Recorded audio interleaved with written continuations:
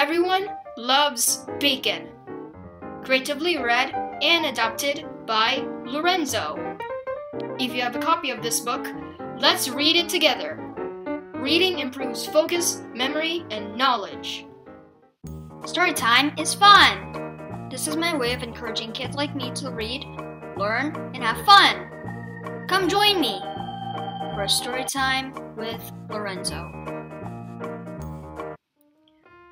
Everyone loves bacon.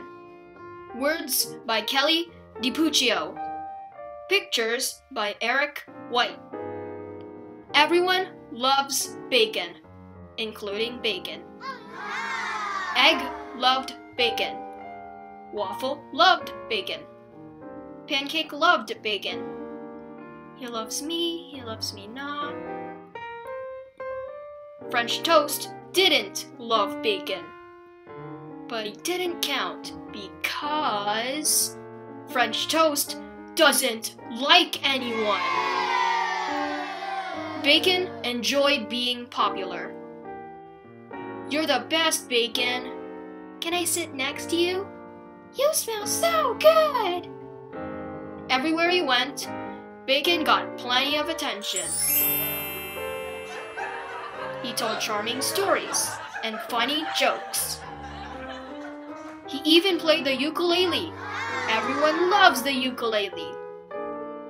The other breakfast meats felt left out. What about me, eh? But Bacon didn't care about them. Not one bit. He was becoming a real celebrity. His picture appeared on t shirts and billboards and buses. Everyone loves me, and I smell so good. Bacon was feeling on top of the world. Eventually, Bacon forgot all about his friends back home. I miss Bacon. Me too. Even worse, he pretended not to know some of his old friends. Fine, have it your way.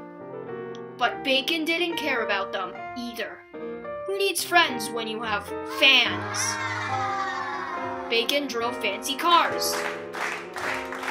He wore fancy hats, and he grew a fancy mustache. Everyone loves a fancy mustache. Indeed, Bacon was the toast of the town. Until. Yup, everyone loves bacon. The end. Please subscribe so you don't miss out on my new videos. Thanks for watching! If you like this video, like and subscribe.